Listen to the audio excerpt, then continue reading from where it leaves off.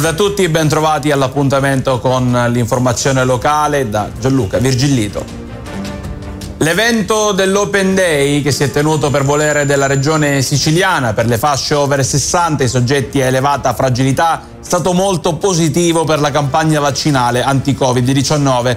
Da giovedì 29 aprile a sabato 1 maggio su un totale di 65.118 prime dosi somministrate nell'isola il 66,52%, ovvero 43.319, hanno riguardato persone facenti parte dei target attuali che hanno aderito all'Open Day senza prenotazione. Le somministrazioni complessive nei tre giorni tra prime e seconde dosi sono state 90.554. Una donna di 42 anni incensurata e positiva al coronavirus, nonché sottoposta all'isolamento fiduciario nel suo domicilio, ha violato la misura per svolgere i propri impegni. I carabinieri della stazione di Siracusa hanno denunciato in stato di libertà D.M per false attestazioni o dichiarazioni rese per la diffusione di una malattia infettiva dell'uomo.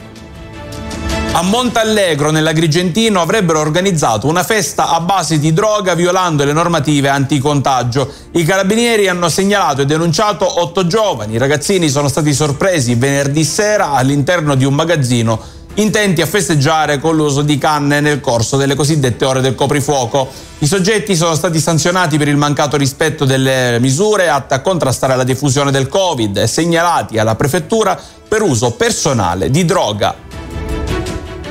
Un giovane muore a causa di un incidente stradale. Si tratta del 28enne Antonino Marotta, sposato, padre di due bambini, ha perso la vita dopo il sinistro verificatosi in via Guido d'Arezzo nel quartiere Playa di Licata, nell'Agrigentino.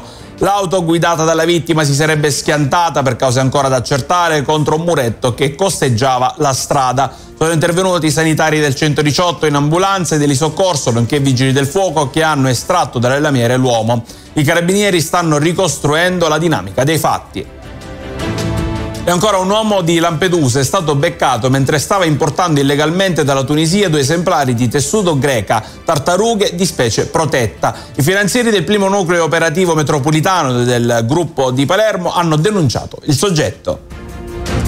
Adesso parliamo del tema migranti, si svuota l'hotspot di Lampedusa, un gruppo con 96 migranti minori non accompagnati è partito dalla struttura con il traghetto di linea per Porto Empedocle in direzione del centro d'accoglienza Villa Sicania a Siculiana. Nella giornata di oggi, se le condizioni meteorologiche lo consentiranno, la nave Allegra attraccherà per consentire la possibilità di effettuare la quarantena ad altri 140 stranieri.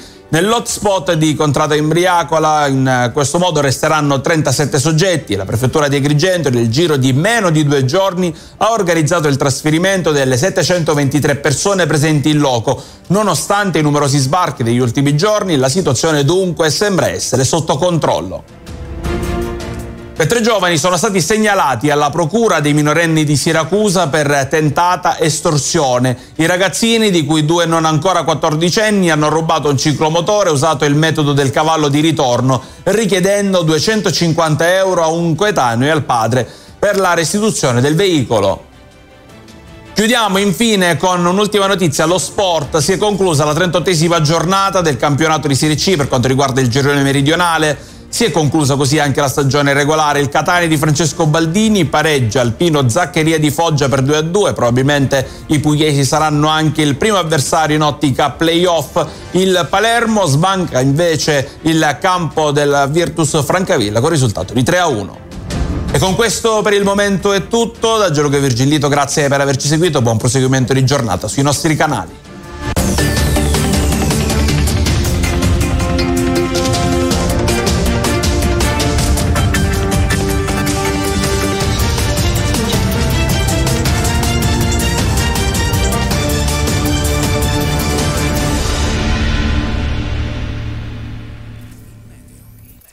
Il meteo. Il meteo.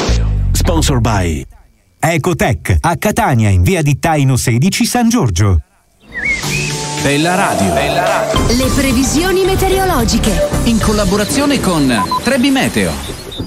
Un saluto e ben ritrovati a tutti gli ascoltatori di Bella Radio da M Parigi di Trebi Meteo. Ci attende una giornata un pochino più variabile sulla Sicilia. L'approssimarsi di una blanda perturbazione mediterranea è infatti responsabile di un incremento in ispessimento delle nubi e di precipitazioni deboli e di breve durata in transito da ovest verso est. Il tutto con temperature massime in netta diminuzione. La ventilazione inoltre si rinforza dai quadranti settentrionali sull'area ionica. Maggiori dettagli sulle vostre località vi attendono sull'app gratuita Trebi Meteo.